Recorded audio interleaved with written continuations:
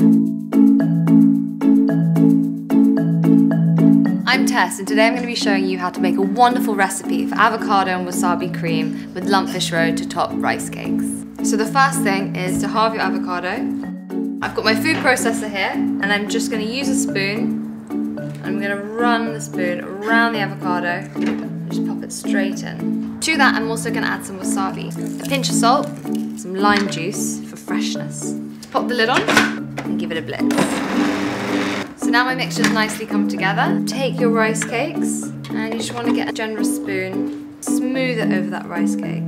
Next is the lumpfish roe, a pinch of toasted sesame seeds, and also some seaweed. So I'm going to take my scissors here and cut thin strips. So I'm just going to arrange the seaweed on top of my rice cakes.